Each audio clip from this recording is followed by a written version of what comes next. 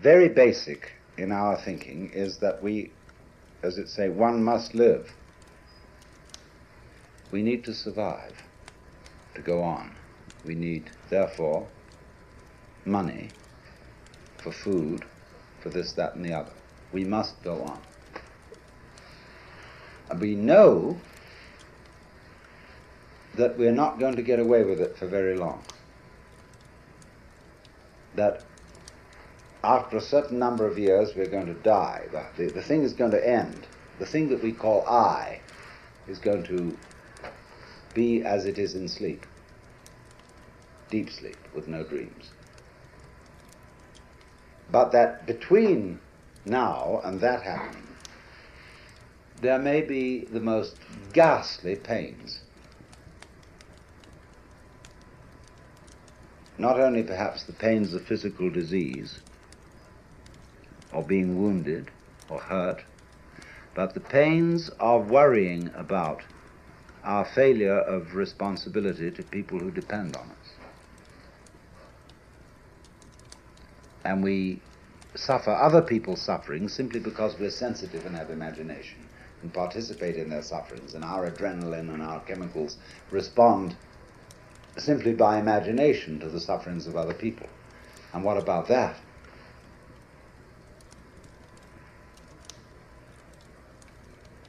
And so we can look at these problems and say, now, quite obviously, all these problems cannot be solved in a physical way. That is to say, we do not expect in our lifetime that medical skill will make us exempt from death. We do not seriously expect that human beings will all learn to be nice to each other and will refrain from war and horrors of that kind, racial prejudice and so on. We don't seriously expect to find a method of being protected by taking some sort of drug against all possible disease and pain. So therefore we say, now maybe there's another way around. Maybe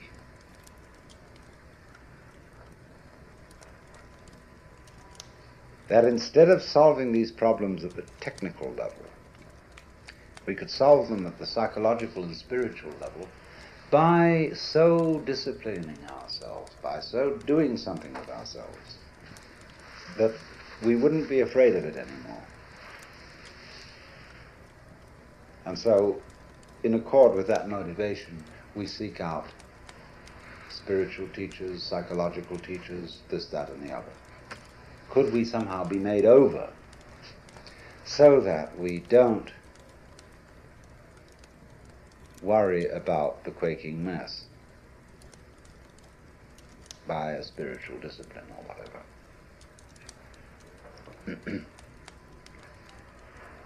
and you see, if you examine that, that this wanting to overcome the quaking mass and not have it anymore that precisely is the quaking mass.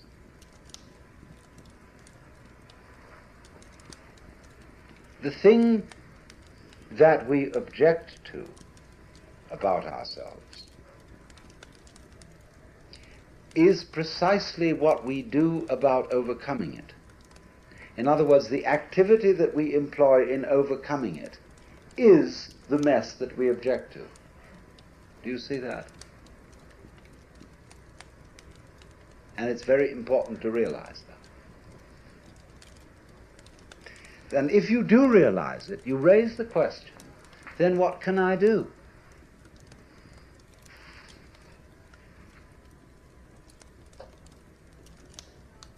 What can I do to transform the quaking mass into the state of mind of the true mystic?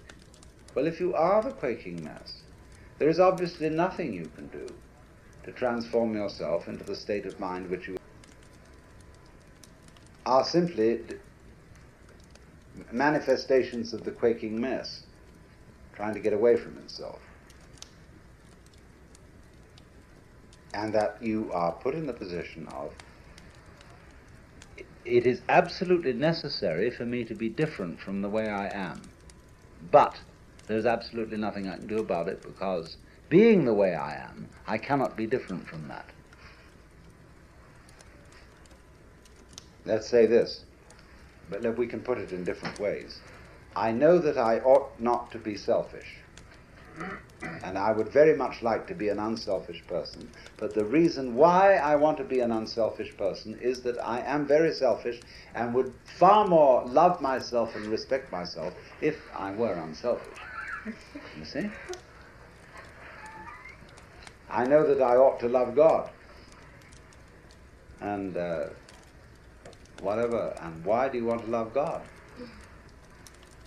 Well, because God is the biggest boss, and it's best to be on the side of the big battalions. That's really why I want to do it. In other words, because I'm looking for the safety of my own spiritual skin. So I think I ought to love God. All sophisticated saints have known this.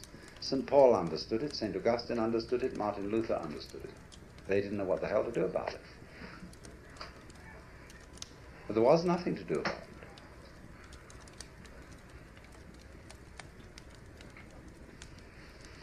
And yet something has to be done. Obviously. But you realize when you really look into yourself, there's nothing you can do. And this, therefore, is our point of departure. That we here, perhaps, perhaps not, mutually realize there is nothing we can do to be anything else than what we are.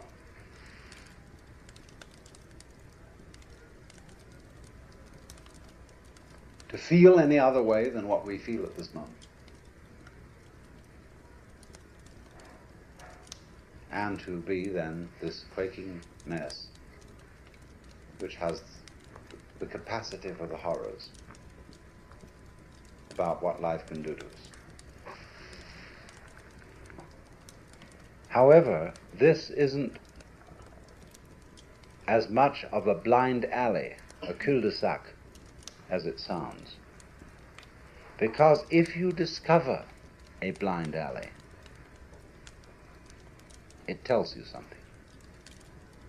Watch the flow of water when it crosses over an area of land, and you will see that it puts out fingers, and some of them stop because they come into blind alleys. And the water doesn't pursue that course. It simply rises, and then it finds a way it can go but it never uses any effort. It only uses weight, gravity. It takes the line of least resistance and eventually finds a course. Now we will do the same thing. Only we're ashamed of it. But we're going to do it anyhow. We think that when we come to a dead end, a blind alley, oh, I failed.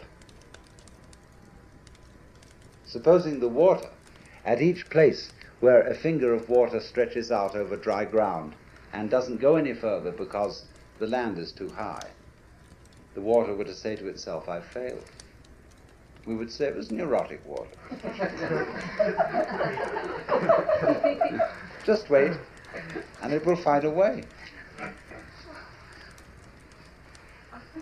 Now, when you find, you see, that there's, there's this predicament that I've been describing to you,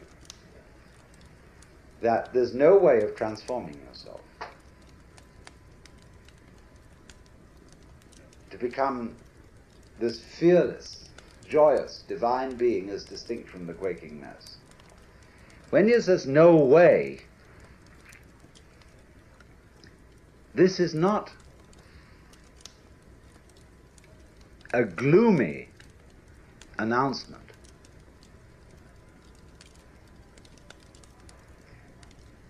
It is a very, very important communication. It's telling you something. Because the, like the land is telling the water, this isn't the way to go. There's another way. Try over here. So in the same way, life is telling you that's not the way to go. It's telling you the, the, the message underlying this is you cannot transform yourself, is giving you the message that the you that you imagine to be capable of transforming yourself doesn't exist.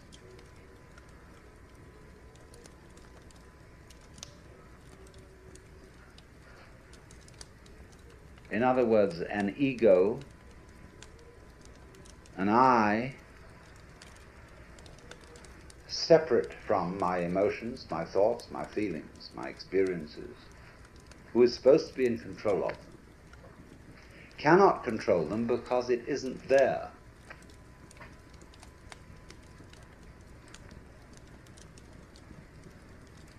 And as soon as you understand that, things will be vastly improved.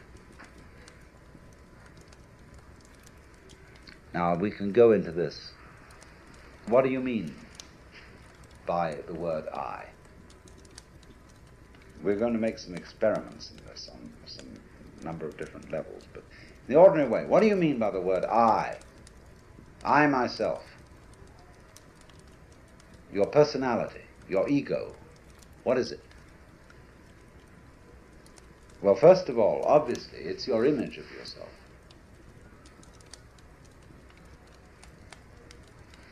It's composed of what people have told you about yourself, who you are, how they've reacted to you, and given you an impression that that's the sort of person you are. It's all your education goes into this, the style of life you put on, and so forth. But, you, but it's an image, it's an idea, it's your thought about yourself, and I suppose yourself is in fact not this, but is to begin with, your total physical organism, your psychological organism, and beyond that, an organism doesn't exist as a, an isolated thing any more than a flower exists without a stalk, without roots, without earth. So, in the same way, although we are not stalked on the ground, we are nevertheless inseparable from a huge social context of, well, to begin with, parents, siblings, people who work for us, and everything. I mean, it's, it's just impossible to cut ourselves off from a social environment, and also, furthermore, from a natural environment. We are that. There's no clear way of drawing the boundary between this organism and everything that surrounds it. And yet, the image of ourselves that we have does not include all those relationships. Our idea of personality of ourselves includes no information whatsoever about the hypothalamus, an organ of the brain, the pineal gland, really of the way we breathe of how our blood circulates, of how we manage to form a sentence, how we manage to be conscious, how you open and close your hand. The information contained in your image of yourself contains nothing about all that. And therefore, obviously, it's an extremely inadequate image. But nonetheless, we do think that the image of self refers to something. Because we, we have the impression, very strongly indeed, that I exist. And this isn't just an idea. We think, my God, it's a feeling. It's, it's really substantially there in the middle of us. And what is it? What, what, what do you actually sense? Like, you know, when you're sitting on the floor and you feel the floor is there and is real and hard. Okay, what are you sitting on the floor? What, what do you have the sensation of? You know, that's you here when you're not hitting yourself. Huh. What is it?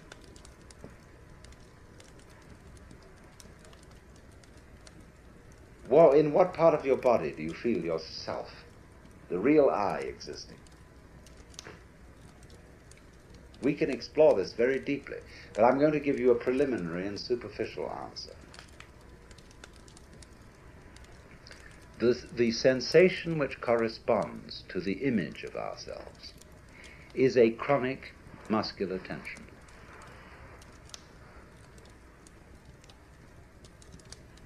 Which has absolutely no useful function whatsoever.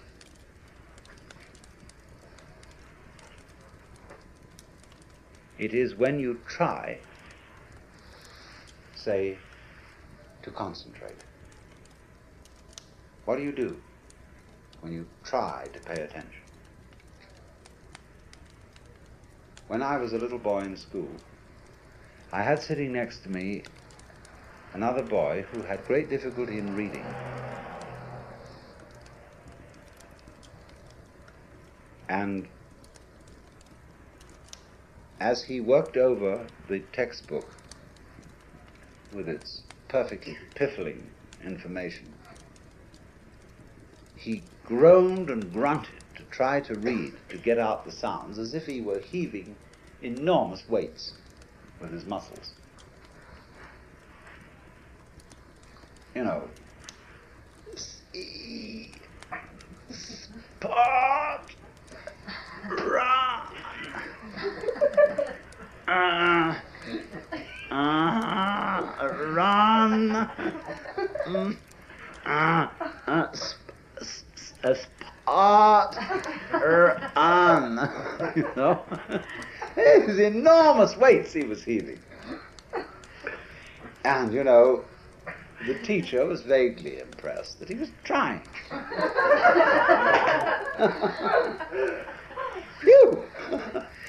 It had absolutely, you know, all this tying yourself up into a knot has absolutely nothing to do with the way your mind works.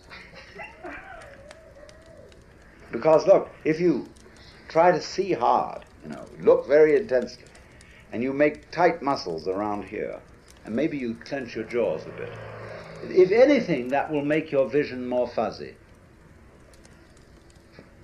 Because if you want to see something clearly, you must not make an effort. You must simply trust your eyes and your nervous system to do their thing. So you just look like that. I was writing the other night and I completely forgot somebody's name. But I knew that eventually my memory would produce it. And I just sat for a while and said to my memory, You know very well who this person is. Please give me the answer. And so, boing, there it was.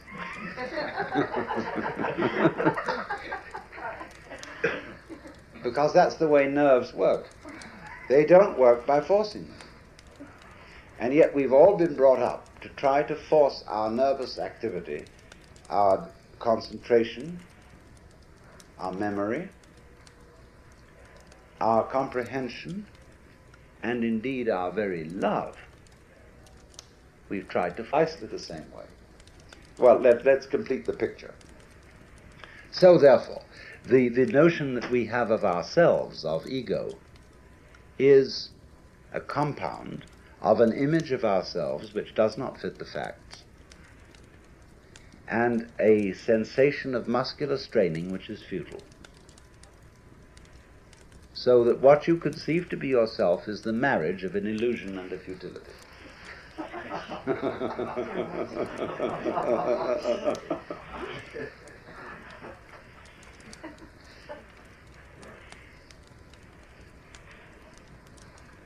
so, well, what are we? If that isn't the case. Well, obviously, uh, if you want to take a scientific point of view, by that mythology, then your, your organism, about which we know very little. And the organism, as we've seen, is inseparable from its environment. And so you are the organism environment. In other words, you are no less than the universe. Each one of you is the universe expressed in the place which you feel is here and now.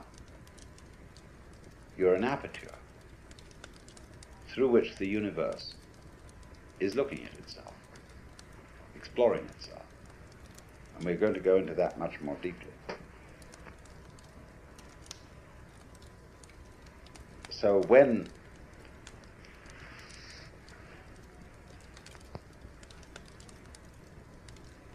you feel that you are a lonely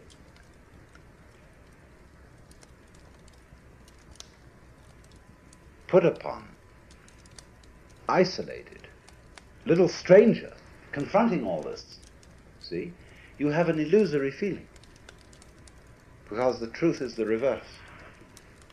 You are the whole works that there is, that always was and always has been, always will be. Only, just as my whole body has a little nerve end here,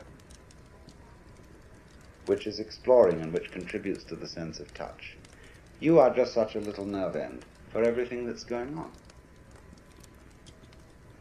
Just as the eyes serve the whole body and help it to find its way around, so you are, as it were, serving the whole universe. You're a cell in it. And it's exploring itself.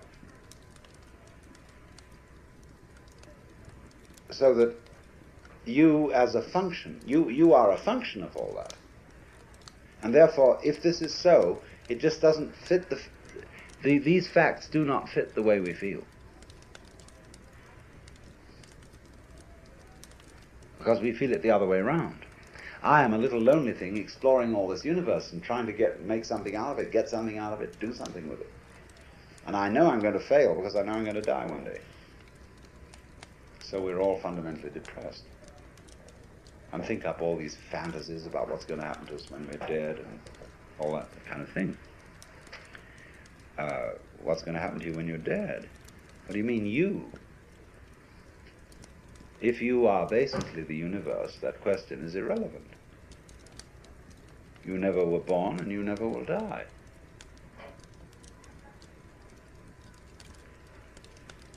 Because what there is, is you. And that should be absolutely obvious. But it is not obvious at all. That should be the simplest thing in the world. That you, the I, is what has always been going on and always will go on forever and ever. But we have been bamboozled by religionists, by politicians, by fathers and mothers, by all sorts of people to tell us you're not it. And we believed it. So, do you see now why, if I put it to you in this very negative way, you can't do anything to change yourselves, to become better, to become happier, to become more serene, to become mystics or anything. If I say you can't do a damn thing, Can you understand this negative statement in a positive way? What I'm really saying is that you don't need to.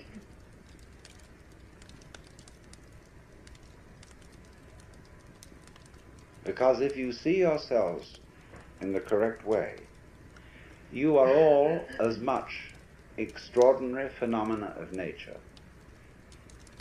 as, say, trees, clouds, the patterns in running water, the shape of fire, the arrangement of the stars, the form of a galaxy.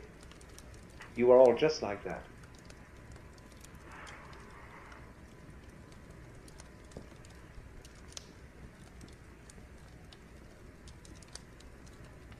Nothing wrong with you at all. Except that I have to add this little flip. You, you, you have in you, you do think there's something wrong with you. See? And there's no question, you do. We all object to ourselves in various ways. And I'm going to add, there's nothing wrong with that either. Because that's part of the flow. That's part of what is going on. That's part of what we do.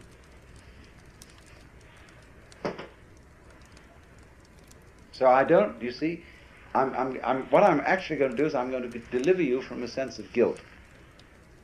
Because I'm going to teach you that you needn't feel guilty because you feel guilty. of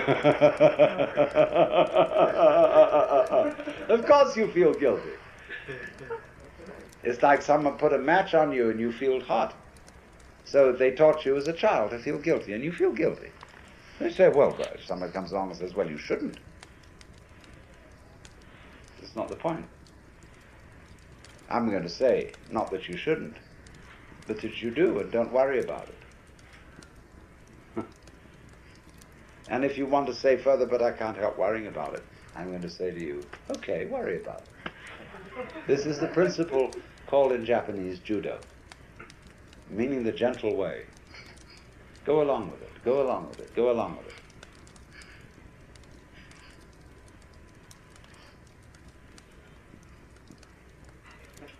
So therefore, this is the beginning of meditation. You don't know what you're supposed to do. What can you do? Well, if you don't know what you're supposed to do, you watch. You simply watch what's going on. Like, say, somebody plays music. You listen, and you just follow those sounds. And eventually, you understand the point of the music. The point cannot be explained in words because music is not words. But after a while, in listening to any music, you will understand the point of it. And that point will be the music itself.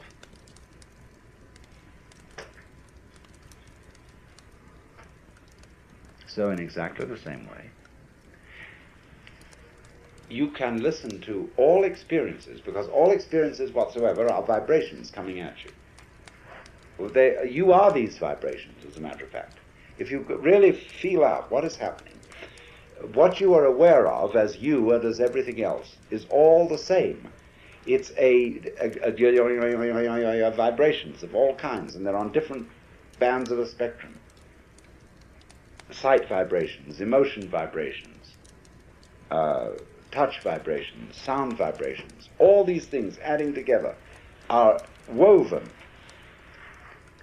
all the different senses are woven, and you get a pattern in the weaving, and that pattern is the picture of what you now feel. And this thing is going. See? Now, instead of saying, What should I do about it? Because who knows what to do about it? To know what to do about this, you would have to know everything. And if you don't, then the only thing that, at least to begin with, to begin with, you can do is watch. Watch what's going on. Watch not only what's going on on the outside, but also what's going on on the inside. Treat your own thoughts, your own reactions, your own emotions about what's going on outside as if those inside reactions were also outside things. That you are just watching. And follow, simply observe how they go. Note now, you may say, this is difficult.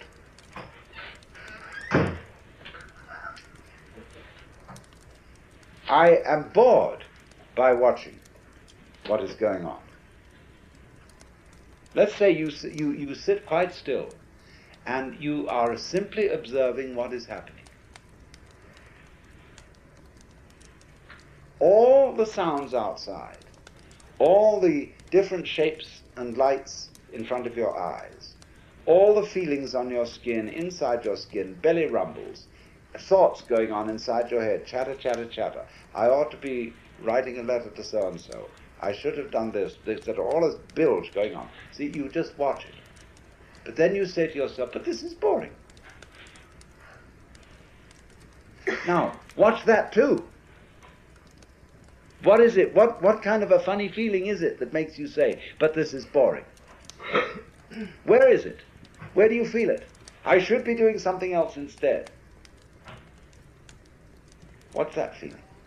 What part of your body is it in? Is it in here? Is it in here? Is it in the soles of your feet? Where is it? Boring. The feeling of boredom can be very interesting if you try to look it out. So you simply watch at everything going on without attempting to change it in any way, without judging it, without calling it good or bad, you watch it. And that is the essential process of meditation.